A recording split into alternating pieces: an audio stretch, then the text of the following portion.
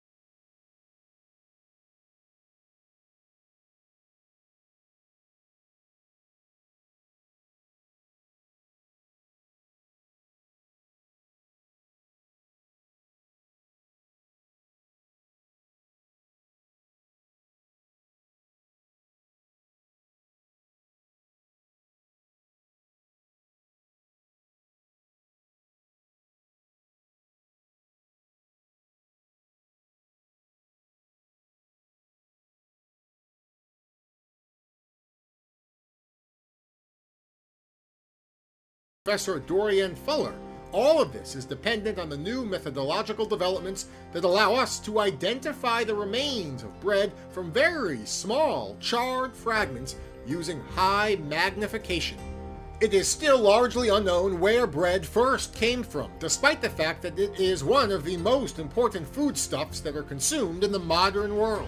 In this study, we present the earliest empirical evidence for the preparation of bread-like products by Natufian hunter-gatherers. This evidence dates back 4,000 years to a time before the advent of the Neolithic agricultural way of life.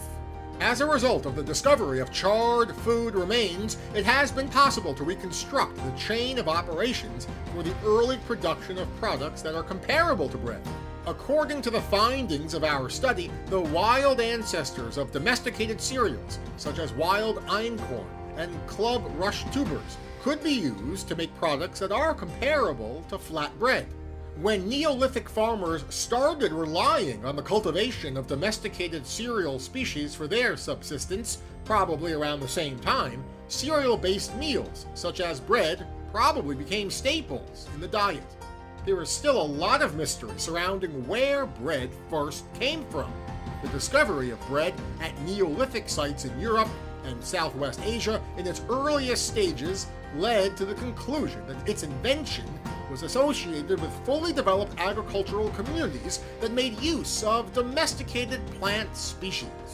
In Southwest Asia, where the wild ancestors of domesticated crops such as wheat and barley occur naturally, hunter-gatherers of the Upper Paleolithic period, around 23,000 years before the present day, were already producing flour from wild grasses, Furthermore, some authors claim that the invention of brewing, groats, porridge, and unleavened bread could have occurred as early as the late Epipaleolithic period or the Natufian period.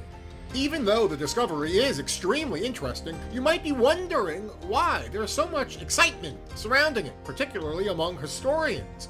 Before this loaf was discovered, the earliest evidence of bread was discovered in Turkey and dated back 9,000 years. This discovery debunks the theory that bread first appeared in the world some 5,000 years after it actually did appear. The development of agriculture and the early farming civilization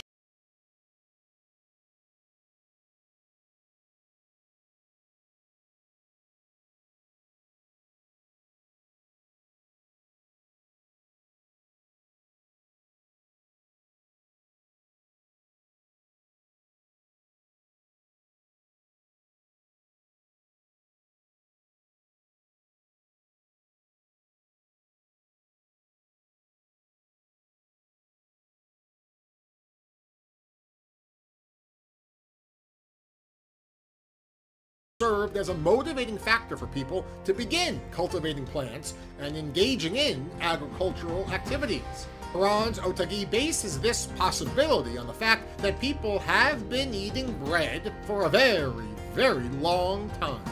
The hunter-gatherer site known as Shubayqa 1 is situated in northeast Jordan, in an area known as the Black Desert.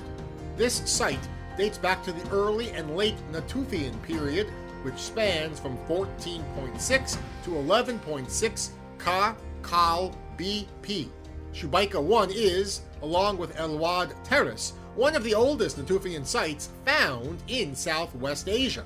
Structure 1, the older of the two buildings on the site, is a semi-subterranean structure with a carefully built flagstone pavement made of local basalt stones. The other building on the site, known as Structure 2, is a well-preserved superposition of the two. This structure is made up entirely of Natufian deposits. It contains diverse artifacts, including chipped stones, tools made from ground stone, animal bones, and plant remains.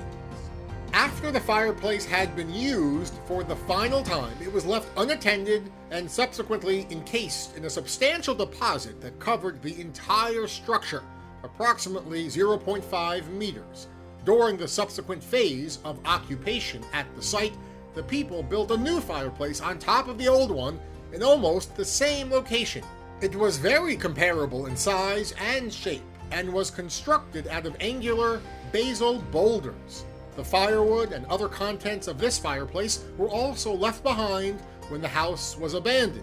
Seven radiocarbon dates of the short-lived, charred plant remain found within the fireplaces, indicating that they were used around 14.4 to 14.2 Ka cal BP. This time period corresponds to the early Natufian period.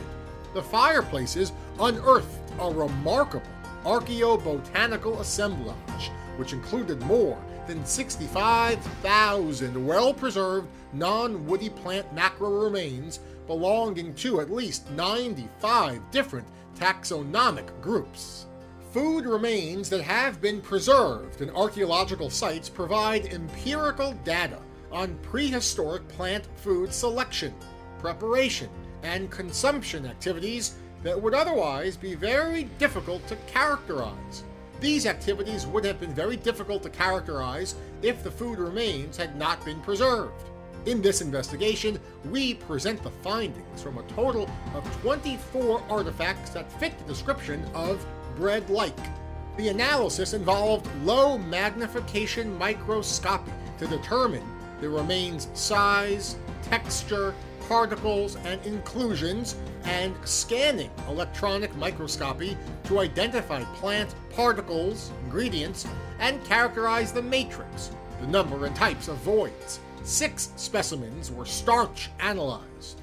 How did the bread from prehistoric times manage to stay fresh after being stored for such a long time? Not at all, as it turns out the archaeologists found the charred remains of the pastry that had been placed around the fireplaces at the site. It wasn't until after the thorough analysis that it was determined to be bread, based on archaeological criteria. Based on the estimation, measurement, and typological classification of plant particles and voids visible in the food matrix, a total of 24 food remains from Shubayqa 1 have already been classified as bread-like products. These findings come from the excavation of the site. Out of these 24, 22 were discovered in the oldest fireplace, and only two were found in the more recent one. At the macroscopic level, each of the fragments displayed a starchy microstructure that was frequently vitrified and an irregular porous matrix. These characteristics are consistent with well-processed food components. These findings are consistent with artifacts referred to as flatbreads discovered at various Neolithic and Roman Age sites in Europe and Turkey. When it comes to the components that went into the food preparations found in Shubayqa 1, the results point to the presence of some remains that were made of cereals, in contrast, others were made of a combination of cereals and other components that were not cereal-based. Fifteen of the fragments contained cereal tissue, primarily pericarp tissue, longitudinal and transverse cells, or bran layers, endosperm cell structures, aleurone layers, and starch-containing cells. The remaining nine fragments did not contain cereal tissue. At least five of the bread-like remnants contained non-cereal components, such as parenchyma cells, vascular tissue, and root-type starch. These components were found in the bread-like remains. Where can you enjoy 15,000-year-old bread? The researchers have started working on developing a recipe for this bread. They have already achieved success in milling the tubers that are used in the preparation of traditional cuisine. The tubers that are used to make the bread are described by Arranz-Otaegui as being quite gritty, salty, and sweet, all at the same time. It is only a matter of time before the bread that has been stored the longest is made available once again. In general, the findings show that charred food remains are preserved in prehistoric sites in Southwest Asia. The analysis provides first-hand and detailed information on the components of the human diet and cooking technology, which is extremely difficult to achieve by any other means. Incorporating these additional lines of evidence will make it possible to conduct a more critical and comprehensive assessment of the food consumption patterns of hunter-gatherers and farmer-herders, thereby delivering fresh perspectives on the evolution of plant food gathering to plant food production. That's it for today! What do you think of this video? Let us know in the comments below. And if you enjoyed this one, be sure to like it and hit that subscribe button before you go. Thanks for watching.